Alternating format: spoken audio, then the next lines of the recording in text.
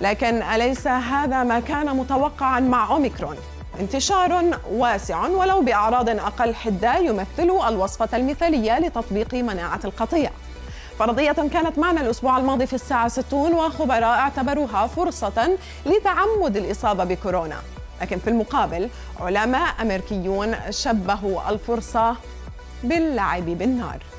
فأوميكرون لا يأتي مع ضمانة 0% وفاة وهو ليس زكاما كما بات يروج له اجتماعيا.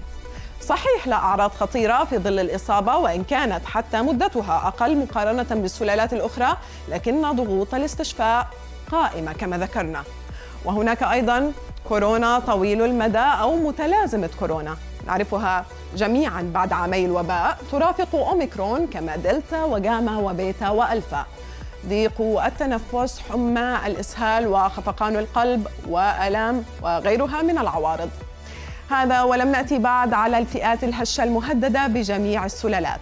الخطر يحوم حول من هم فوق ال 65 عاما والمطعمين والخالين من الأمراض.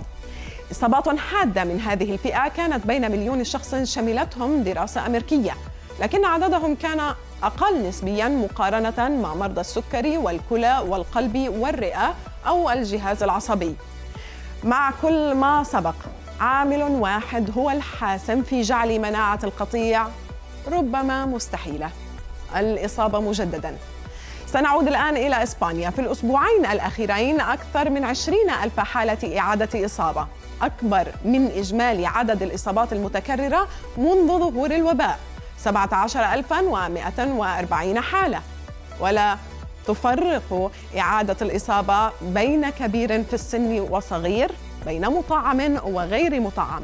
أما في المكسيك فلا تفرق بين مواطن ورئيس.